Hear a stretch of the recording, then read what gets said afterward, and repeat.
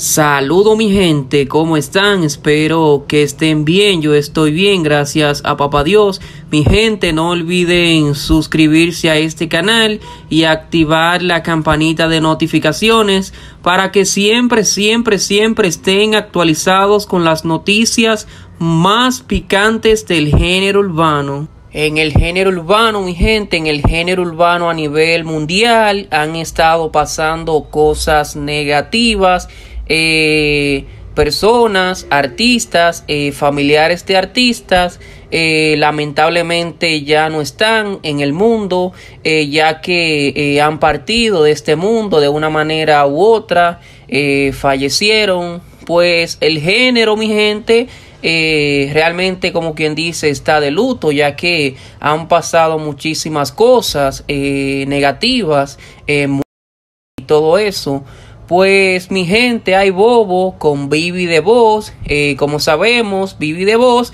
eh, viene teniendo, como quien dice, eh, un problema con el Alfa. ya que aquella vez cuando le quemaron el Bugatti al Alfa, el Alfa y Santiago Matías acusaron a Vivi de Voz de que fue él el responsable de que le quemaran el Bugatti. Pues Arismendi Mañón, mi gente, DJ Topo, hace tan solo minutos eh, hizo esta publicación en su cuenta de Instagram, mi gente, donde por ahí vemos como las autoridades en la calle, eh, parece que es en Estados Unidos, en Miami, pues dice DJ Topo esto, mi gente. Me dicen que intentaron lamberse a Tok Dollar Bibi, noticia en desarrollo.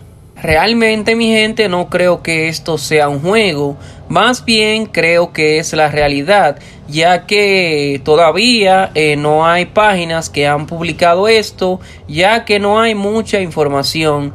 Eh, Arismendi Mañón, DJ Topo, subió esa publicación, ya que Top Dollar, Bibi y Arismendi Mañón son muy amigos. Incluso eh, Vivi de Voz sigue a pocas personas en su cuenta de Instagram y una de ellas es DJ Topo. En esa publicación muchas personas eh, diciendo que está bueno porque él le quemó el Bugatti al Alfa, eh, que está bueno eso que le pasó y un sinnúmero de cosas, mi gente. Solo queda esperar, confiando en esa publicación de DJ Topo, que sea real, o sea, que no sea sonido. Eh, más adelante, cuando surjan más informaciones, se la estaré trayendo por aquí. Veremos, eh, estaré investigando a ver qué pasó eh, con Bibi Top Dollar. Si realmente trataron